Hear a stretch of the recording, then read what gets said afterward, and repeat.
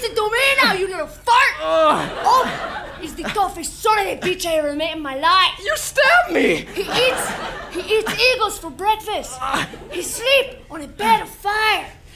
And when Up cuts an onion, the onion is the one who cries.